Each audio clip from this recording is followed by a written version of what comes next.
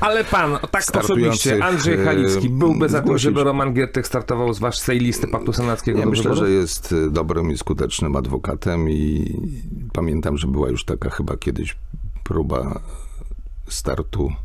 Z obważanka warszawskiego tak, kiedyś chyba. pamiętam taką dyskusję i myślę, że y, nie należy y, robić niczego na siłę. Jeżeli ten pakt senacki uwzględniałby Romana Giertycha, bardzo proszę. Jeżeli nie, no to myślę, że tego rodzaju konkurencja, która pochodzi no, spoza tego porozumienia, jednak narusza coś, co, co powinno być wypracowane w tym wypadku w gronie liderów politycznych w y, polskim parlamencie. To, to, to, to jest y, oczywiste dla mnie, że te dyskusje trwają w polskim parlamencie. Być może, że tam to Jeszcze nazwisko również jest uwzględniane, ale tego panu nie potwierdzę.